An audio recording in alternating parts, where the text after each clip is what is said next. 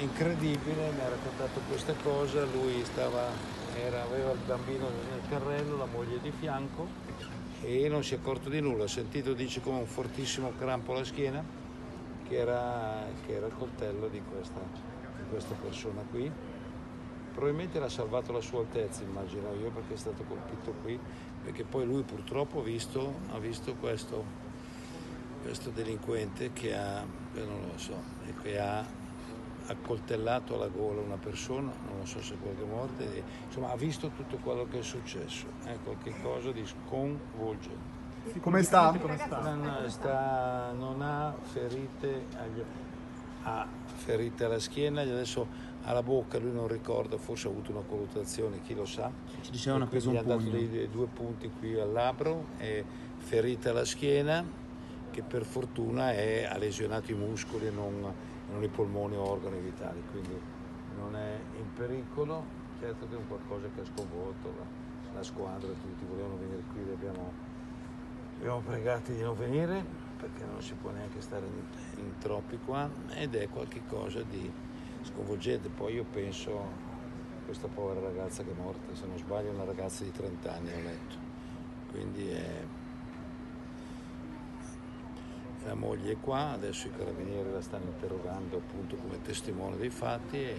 A livello psicologico come sta il giocatore? Io, a me è sembrato abbastanza bene, però io non sono un medico e quindi non vi so dire. Comunque è lucido, è andata la moglie, poi io sono entrato con Palladino, lui è stato, è troppo forte Paolo, perché ha detto lunedì sera sarà in campo e quindi, e quindi non lo so. E una forza incredibile. Sappiamo che ha parlato anche il Presidente Berlusconi, cosa ha detto? Sì, sì, no, il Presidente Berlusconi ha, ha pregato noi appunto di, che non potevamo certamente passare il telefonino, appunto di, di esprimergli la sua vicinanza, il suo affetto e il suo augurio, eccetera. Il Presidente mi ha chiamato due o tre volte perché io l'avevo informato, ho chiamato anche Raffaele.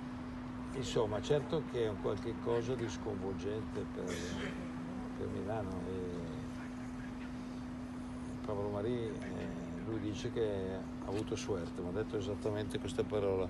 Eh, oggi ho avuto suerte perché ha visto morire qualcun altro. Quindi, quindi nella, è una storia terribile, incredibile, so, di solito le, sono cose che succedono in altri paesi, in Italia non succedono quasi mai. Pensa, pensa, niente, era con la famiglia al supermercato di, a fare la spesa.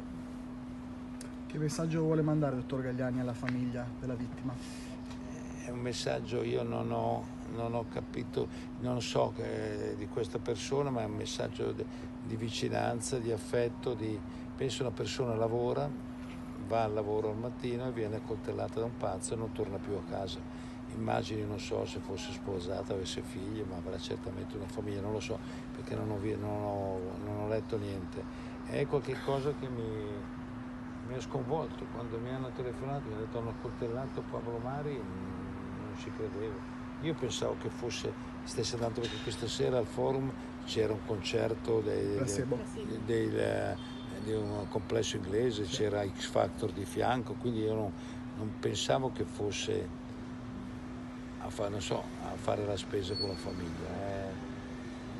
Non so, non so parole. Grazie, grazie, grazie, grazie, grazie, grazie, grazie.